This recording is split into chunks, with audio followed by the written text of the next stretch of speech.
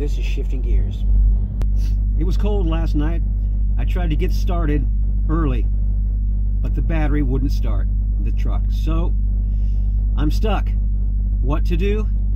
I'm going to try and start my diesel truck with my reefer battery. To do that, I'm going to have to invest in some jumper cables that will reach. So I've gone into the pilot where I'm at to do that.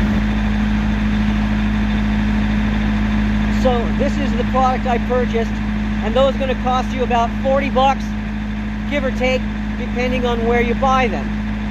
Now, the length of my cables I purchased is 20 feet, and that's comfortable enough to go the distance. I drive a reefer on my tractor trailer, and that's my reefer. It refrigerates the entire trailer. Now, itself, it runs on diesel fuel, but I have a battery in it, of course.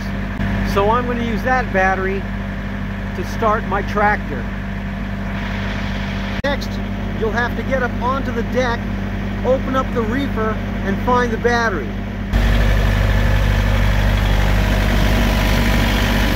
The hot wire is red, and your connectors on the batteries are red.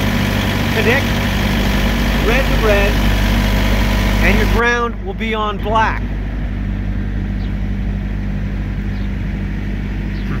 On my truck, I have a pull down panel underneath my cab to access the batteries. So here's the panel. All I have to do is pull that open and you see the battery inside. Now remember, cables will connect in the same way. Red to red, black to black. The battery sizes are completely different. The battery on the reefer is much smaller than the one on the So what you're going to have to do, you can hear the reefer is started. It's going to take a half an hour or 45 minutes to charge the battery. So get it started wait it out. Okay, it worked.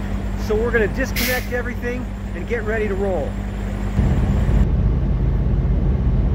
In case you didn't guess, the exact same setup can be used in reverse. That is, you have a reefer that won't start. That happened to me about two months ago. Electrical issue was the battery. Now my truck worked, so in that case, I use this exact same setup in reverse to charge the uh, reefer battery. Give it a jump start and give it some juice and it worked just fine. So either way, get yourself some cables and you'll be much better off.